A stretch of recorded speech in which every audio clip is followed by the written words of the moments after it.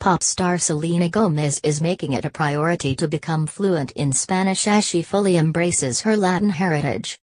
The Come and Get It hitmaker previously shied away from flaunting her Mexican roots because she wanted audiences to accept her solely based on her talents, but, now 25, she has learned how important it is to publicly recognize her Latin background, which she gets from her father's side of the family, and that involves brushing up on her language skills.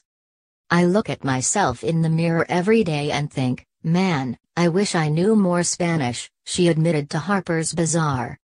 Selena recalls first experiencing a shift in how she viewed herself during her Disney days, when she met a single Latin mother on the set of Wizards of Waverly Place.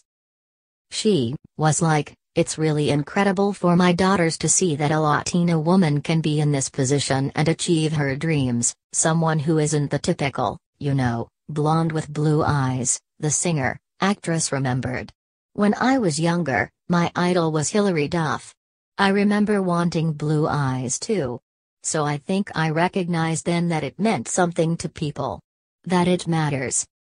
Most of the time, though, I try to separate my career from my culture, she continued, because I don't want people to judge me based on my looks when they have no idea who I am. And now more than ever, I'm proud of it. But I still need to learn Spanish,